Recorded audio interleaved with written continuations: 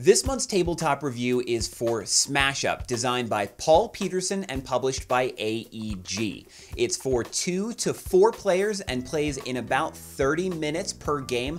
Um, it can go a little bit higher or lower depending on the amount of players, but the goal is to be the first player to reach 15 points by destroying the bases that are on the table with the army that you create. You create your army by selecting two factions and mixing them together together, which is why it's called Smash Up. There are a bunch of different factions like aliens, zombies, kittens, princesses, monsters, werewolves, all sorts of different armies or faction types. And as you get more expansions, you can actually create even more combinations. It's a great little game. It's a lot of fun. It was actually the second game in my collection. So let's go down to the table and have a quick look. So the components are the rulebook, the cards for the bases and for the factions, and then you have these little tokens to mark victory points and the power that is on each base. Now the tokens only come in the expansion, so if you only have the base game, I definitely recommend either picking up an expansion or getting some poker chips. Now, I gave the theme a 3 out of 5.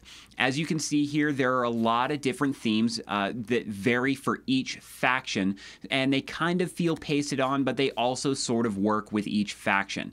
So that's why it got a 3 out of 5. The themes we have here are vampires, ninjas, the robot gorillas, and then the pixies, but there are dozens of themes, especially if you pick up the expansions. There are also themed bases for each faction, and there are bases that come in every one of the expansions as well. So it's definitely worth picking up the expansions if you want to grow the amount of theme that you have in this game. Now, the artwork I gave 5 out of 5, and the reason for that is because the artwork fits the theme for each faction. While the theme itself feels pasted on for the gameplay, the artwork definitely fits each faction. You can see the variability in all of these different factions the ninjas and the vampires, the gorilla robots, and the pixies all have great artwork. It's consistent and very high quality. You can see the artwork even on the rule book is very, very good. So this one again gets 5 out of 5. The mechanisms are also 5 out of 5. It's very well executed. It's simple to learn and it's challenging to master all of the combinations. The strategy is incredible. All you have to do is pick your two factions, shuffle them together, and then you play with the two factions and try and make them work together. So it's a great game to, to add a lot of depth because there are so many differences between each of the factions. So it allows you to do a lot of different things things.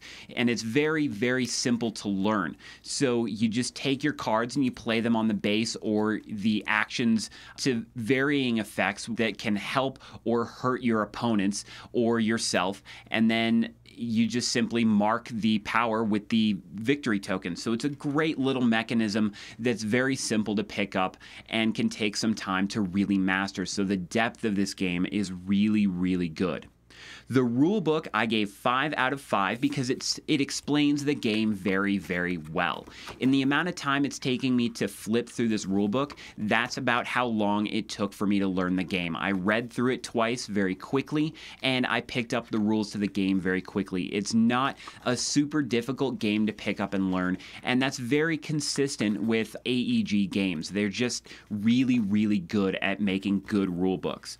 The components, the cards are okay, but they could be better. I've had a couple of cards that split when shuffling or pulling out of the packaging, so it kind of is difficult. I definitely recommend sleeving your games if that's something that you enjoy doing. The tokens are high quality with a good linen finish, but some of them do tear while being punched out. So again, the components have a 3 out of 5.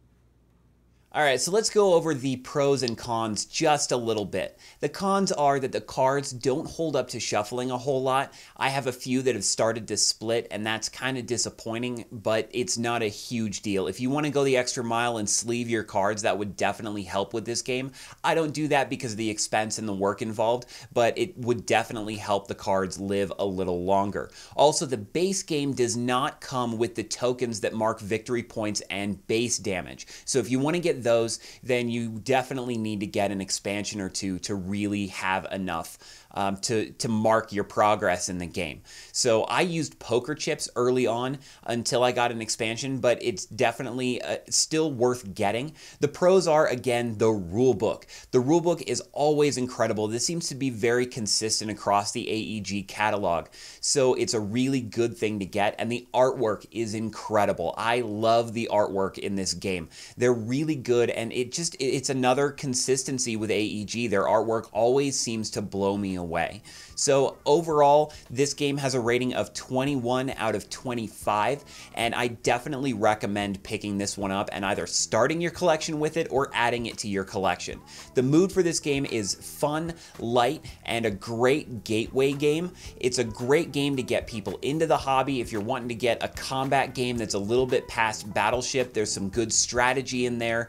It's not too heavy, so it, it's not really overwhelming to a new player into the hobby.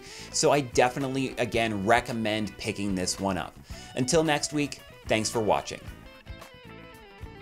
Thanks so much for watching. I'd really love it if you would tell me what you thought of this video in the comments. If you agree with me, you disagree with me, if you have any thoughts or opinions, I'd love to hear it. You can also tweet me at Arthur Rhetorical on Twitter. You can find me on Patreon and Facebook as Rhetorical Entertainment. If you're not subscribed yet, click that little button down there. Also, if you want to see something cool, click the little button over there. I don't know where it leads, but you're gonna find out if you click on it.